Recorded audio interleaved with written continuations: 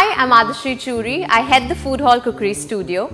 And today we're celebrating our love for food with Harnaaz and we have something very special planned for her, so stay tuned.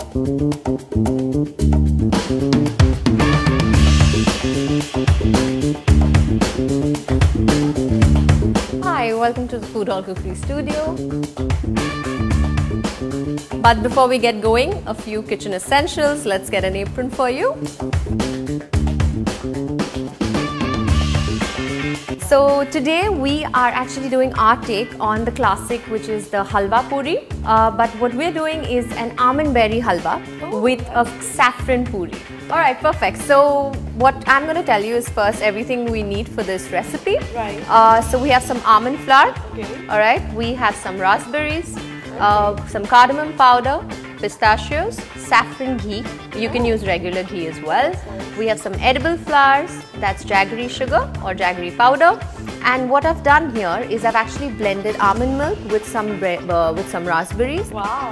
All right. So delicious already. Let's get started. Yes. So we're going to start with the first step.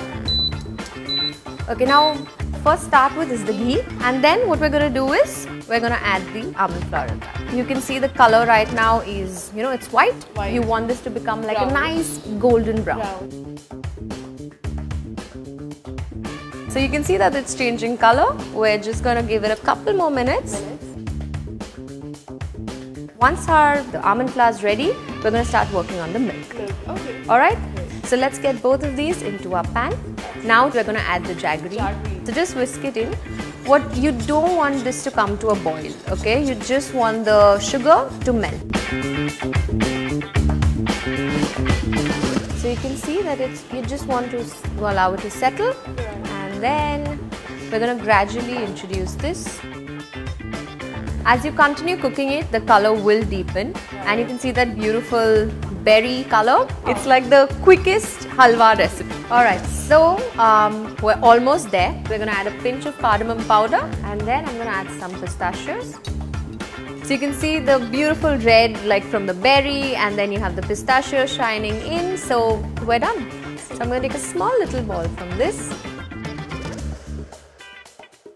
Perfect. Alright, so How is the shape? Nice. ooh, ooh. So, Alright, so now next let's get fried.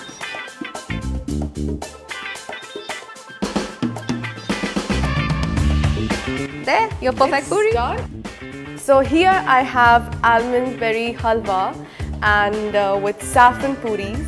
The best thing about this is that it's tasty, healthy and gluten free and people like me can eat it on their cheat days. I can't wait to dig in. So sorry.